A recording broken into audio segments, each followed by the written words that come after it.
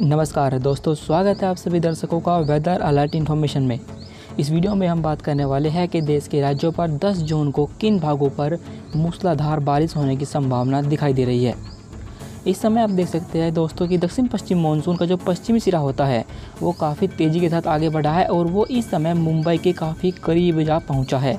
और अब मानसून की जो उत्तरी सीमा है, वो इस समय माफ़ कीजिएगा, अरब सागर पर थोड़ी और आगे बढ़ी है। मध्य महाराष्ट्र और साथ ही तेलंगाना के लगभग सभी इलाकों को कवर करती हुई ये पूर्व में बिहार की सीमा तक जा पहुँची है। अगले 24 घंटे के दौरान जो दक्षिण पश्चिम मानसून का रौद्र रूप आपको देखने को मिलेगा, वो मिलेगा महाराष्ट्र के हिस्सों पर और इन भागों पर आप देख सकते हैं कि यहाँ एक चक्रवाती हवा का क्षेत्र डेवलप हो चुका है। इस चक्रवाती हवाओं के क्षेत्र की वजह से अरब सागर का मॉइस्चर और साथ ही बंगाल की खाड़ी से जो मॉइस्चर आएगा, वो महाराष्ट्र के ऊपर केंद्रित हो जाएगा और यहीं पर ही, महाराष्ट्र के ऊपर ही घूमने लगेगा।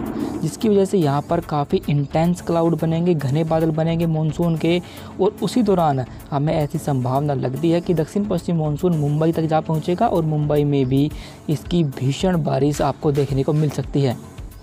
सबसे ज़्यादा जो बारिश रिकॉर्ड की जाएगी वो महाराष्ट्र के तटीय हिस्सों पर होगी। मुंबई सहित गोवा तक इन भागों पर कई स्थानों पर भीषण बारिश होने की संभावना अगले 24 घंटे के दौरान हमें दिखाई दे रही है।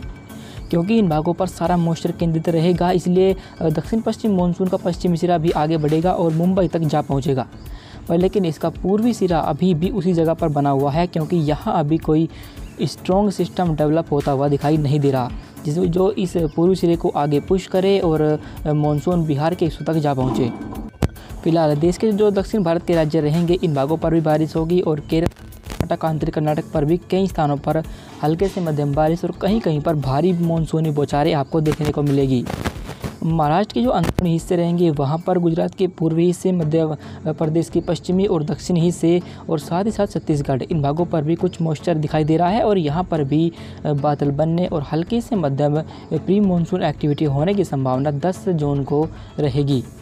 पर, लेकिन उत्तर भारत के हिस्सों पर आप देख सकते हैं कि यहाँ पर अभी कोई W D strong W D नहीं है और ना ही कोई ऐसा सर्कुलेशन इन भागों पर बना हुआ है जो यहाँ पर मौसम को बदले और बारिश दे।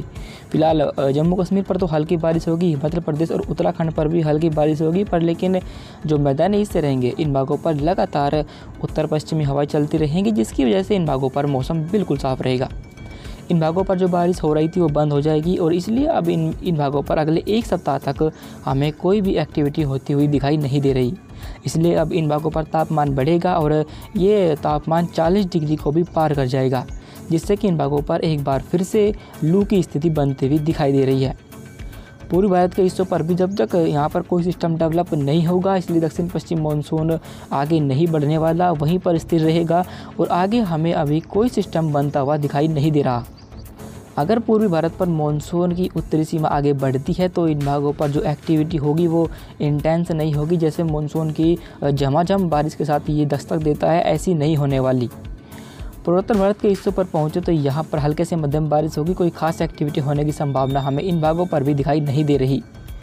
गुजरात पर मौसम साफ़ रहेगा, पर लेकिन पूर्वी हिस्सों पर हल्की बारिश आपको देखने को मिल सकती है। अभी फ़िलहाल के लिए वेदर अलर्ट इन्फॉर्मेशन में अभी के लिए बस इतना ही। वीडियो अच्छी लगी हो तो लाइक करें और मौसम के हर अपडेट को जानने के लिए हमें यूट्यूब पर ज़रूर सब्सक्राइब करें। धन्यवाद।